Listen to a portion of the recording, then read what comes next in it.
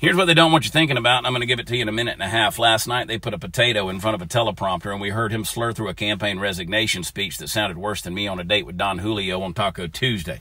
Now, he never gave us a reason for his resignation or gave any explanation of what was going on. He gave what sounded like a State of the Union address that mentioned he's going to spend the next six months of his presidency saving everybody money, fighting cancer and climate change, and he beat Big Pharma. Okay. Now, one of the biggest things that he said in his statement is that character matters most. Now, let's set aside the fact that he's the last recorded American politician to use the N word publicly and he eulogized the grand cyclops of the KKK, Robert Byrd, as one of the finest men he ever knew. Let's forget that he fleeced American people for 50 plus years and peddled influence to the point of even using his crackhead son as a scapegoat so that he could dig his fingers into China and Ukraine. But as he passed the torch to Kamala Harris, now we're not going to take the low hanging fruit and remind everybody that the phrase body count means two different things between her and Hillary Clinton. But in 2019, she was categorized as the most liberal senator in America. She fights for the right for to murder unborn babies. That's not moral character.